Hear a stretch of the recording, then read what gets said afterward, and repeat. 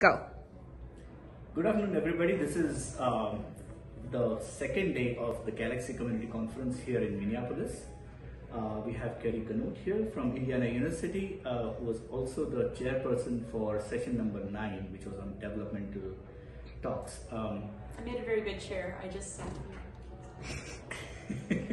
and uh, Carrie, uh, I just wanted to know, uh, first of all, thanks for coming to Minneapolis, attending this in person. Uh, is this your first time here? Yeah. Okay, all right. Yeah.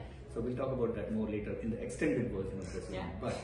But um, question uh, in the in the chair session, the chair session that you chaired, Mm-hmm. uh, which was the most uh, interesting talk that you that you found? So for me, uh, the most interesting talk was probably the talk that Enis Afgan gave, and I have the name here. This was Open Bioreference Data Catalog for Galaxy and Bioconductor, and I think that it really resonated with me because I have tried to get this like reference data attached to our galaxy and the sysadmins would not mount random file systems for me uh, that came from remote CVMFS uh, repositories. So it's something that I was like latching onto because I really wish it had happened, you know, like two years ago. Uh, you know, when I still was like working on the, the reference data part. So I was like, yes, that's useful.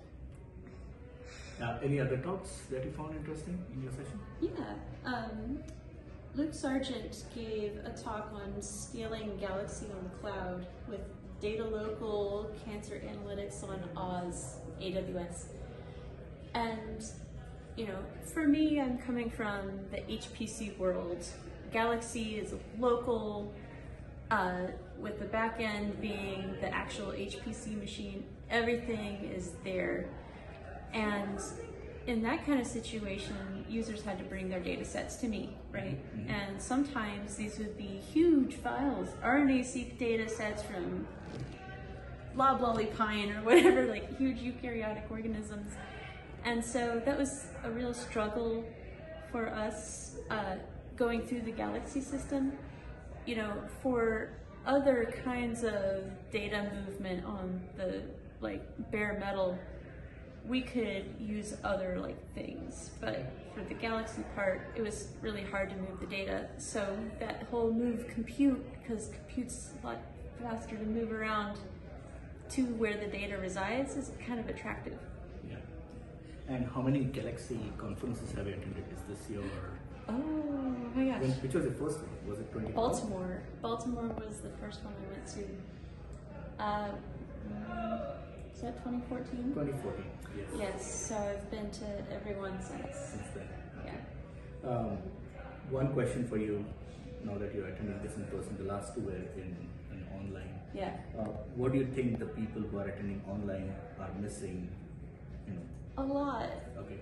I miss them. I mean, like, I wanted to see some people whose like, like faces and just random weird conversations, right? Like, you don't get to just joke and have that like personal connection. Uh, and even the birds of a feather, I think, were really tough because you have this contingent of Zoom people, Mhm. and then people in the room, and it's just like a divide. Right. It's a little hard to overcome. Right. So yeah, if you're asking me, is like the hybrid model like workable? Yes, in a pinch. I think, you know, it's a good option because if you can't travel, you can't travel. Right. But I, I think if I could at all swing it, I would be in person. Right. And the last question: You came to Minneapolis first time. What was what what- what are your what are expectations and how is it changing? Or it's kind of Oh, so I had no idea that Minneapolis was a big city. I see these skyscrapers, I'm like, oh my gosh, okay, that's what we're doing. Yeah, cool. Because I was looking at the map, I'm like, oh, there's a college, you know, and I see like all these businesses, but it's not 3D, you know, so I thought that was cool. And, um, you know, I, uh, I very much love the outdoors, Mhm. so I drove here with my kayak, and I'm like, okay, Minneapolis has a big river. I am going to check that out. there are lakes as well. Yeah. Yes, and there are a lot of people who uh, Yeah. kayak on the lakes as well. So I can't wait. Yeah, awesome. Um, thanks, Carrie. Thanks for your, uh, chairing the session. Also, an excellent talk. Uh, and uh, thanks for being here in person. So, Thank you for hosting. I know it's a lot of work. with that, uh, we uh, will sign off and we'll look forward to the rest of the interviews. Thanks, Carrie.